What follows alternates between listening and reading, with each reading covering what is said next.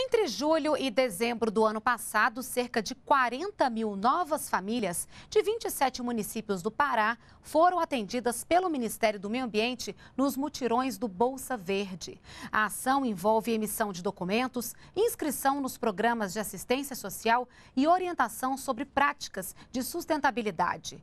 As famílias atendidas recebem o benefício de 300 reais a cada três meses e, em troca, assumem o compromisso de continuar preservando o meio ambiente.